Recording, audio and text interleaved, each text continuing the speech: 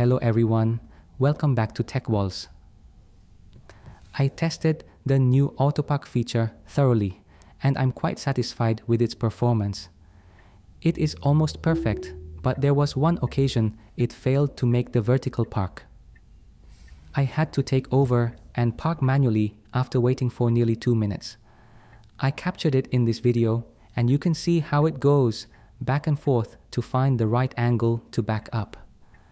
This unsuccessful attempt doesn't dissuade me from using this feature because it is still working well 99% of the time.